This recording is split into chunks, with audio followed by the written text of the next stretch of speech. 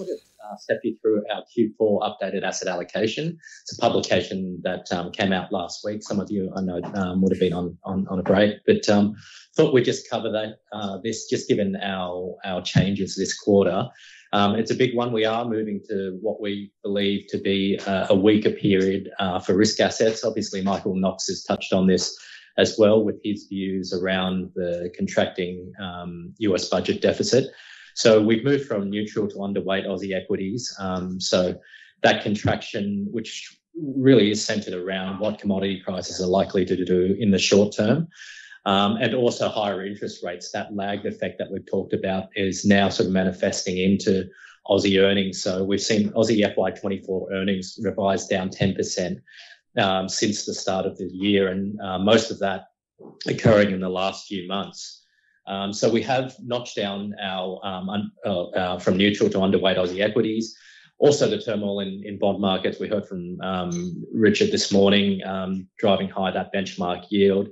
Um, so, just given we have seen a, a, slight moderation in inflation, yet we have seen uh, long bond yields actually tick up. Uh, we think that will continue to put pressure on on risk assets and likely uh, real assets as well, so infrastructure and property. So that sees us also drop the, the to an underweight there. Um, we are getting rewarded, I guess, for being patient. So we have um, topped up our cash balance in anticipation of um, a little bit more weakness, weakness in the next three to six months. Um, so what's changed, I guess, um, in in in the view overall? Well, look, we, we still know there are some positive factors for the market, hence why we haven't moved to a, a much bigger underweight. So um, the what we've seen is we, we are nearing the top of the interest rate cycle. Um, inflation is you know gradually moderating and moving in the right direction, and growth, particularly in the in the US, has been particularly uh, resilient as well. Also, we've seen that uh, productivity boost that we've seen from all the uh, you know excitement around AI. Um, that's likely to uh, to come through. Obviously, Microsoft with its Copilot as well. So there's there's obviously a lot of things you can point to which um, you know will ultimately support the market. But I think it is what's happened in the middle column that has really concerned us. Most notably, um, it's the magnitude and the velocity of um, the sell-off in in long bond yields. Um, you know this increases the, the risk of financial accidents. We saw this with SVB, we saw this with the gilts crisis um, last year as well. So, um, you know, parts that are over leveraged in the market always gets exposed when we see interest rates rise um, this quickly. And given it's such a critical uh, part of, um, you know, the global financial system, long bond yields and, and benchmark um, benchmark interest rates, um, and given how quickly they've moved, it does heighten this risk. Um, also, the US political situation, losing the Speaker of the House there, um, you know, political turmoil in the in the US threatens another uh, potential shutdown of the US government uh, mid-November.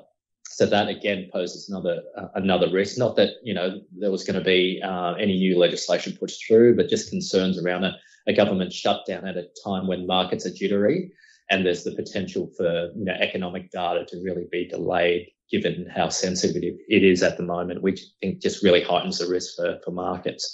So if we drill down into um, the bond market uh, turmoil, you know, it's obviously one of the most stable um, of all assets. If you're looking at sort of long, uh, long-term bonds, they were down 7% since mid-September and down 14% since the start of July as well. So what worries us is that um, this is you know, really only just the beginning. Um, you know, we've heard Michael Knox talk around um, long bond yields needing to be have a seven handle.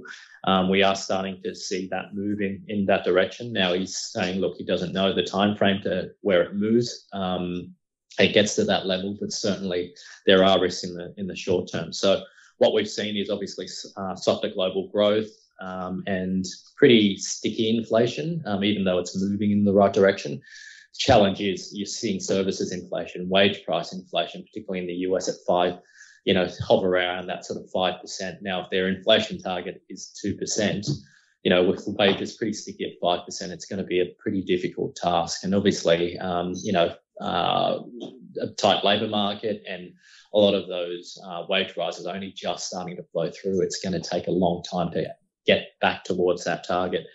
Um, on top of that, um, as Michael's been talking about, the growing US debt pile, um, yeah, coupled with a shortage of really willing participants. You know, the typical uh, buyers of US treasuries have been Saudi Arabia and, and China, and both are running huge um, surpluses, trade surpluses.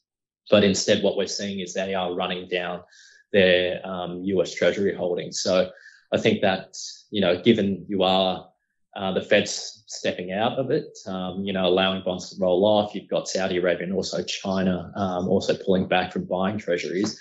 You know, that natural buyer um, in, in, suppressing bond yields is, is, no longer there as well. So um, that creates uh, a bit a bit more uncertainty for where um, bond yields are likely to go, and we certainly think it's um, headed upwards.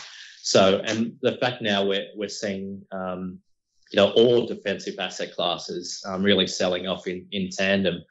Um, you know, given there's no no places to hide, and that um, you know high bond yields really manifesting in in um, all defensive asset classes, um, just gives us um, reasons to just be conservative in in the short term until such time as valuations just get too cheap which you can see from that right hand side. Look, valuations are sort of pushing up there again um, on a global, global equities basis, or um, central banks um, start to cut rates, and you know there's no signs of that um, immediately. So.